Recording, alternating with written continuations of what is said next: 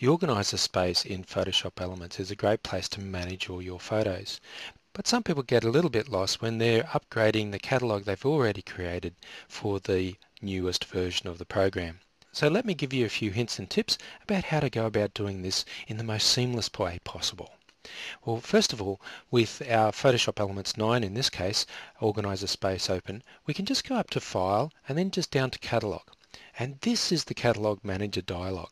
So this is really Catalog Central, and you'll get a list of the catalogs that you currently have on your machine. The one I have currently open, I've just called Example Catalog PSE9. Notice when I select it, I have a couple of options I can actually use on the right hand side here.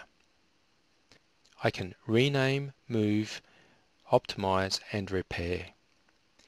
In preparation for updating to the latest version of Photoshop Elements, we would recommend that you would go in and first of all repair your catalog.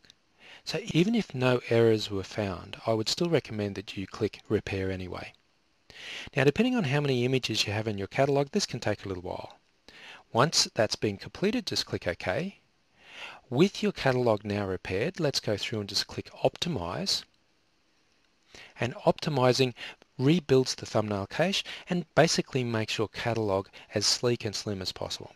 So if I just click OK, we've now prepared this particular catalog for use in the new version of Photoshop Elements.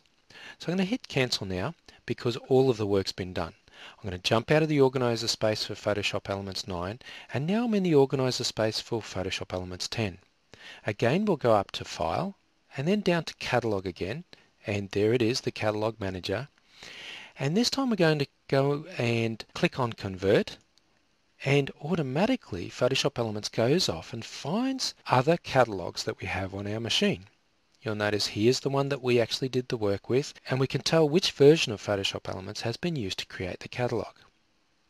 So you can see here it says Elements 9 Organizer.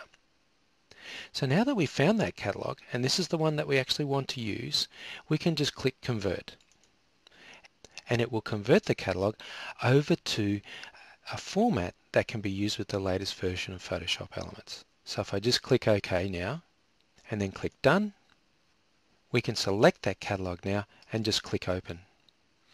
And there we have it. Here's the catalog that we were just looking at inside Photoshop Elements 9, but now it's been converted and it's sitting inside Photoshop Elements 10, and we have all our photo stacks sitting here as well, and things like our keywords and also our albums have been retained and brought across with this newly converted catalog.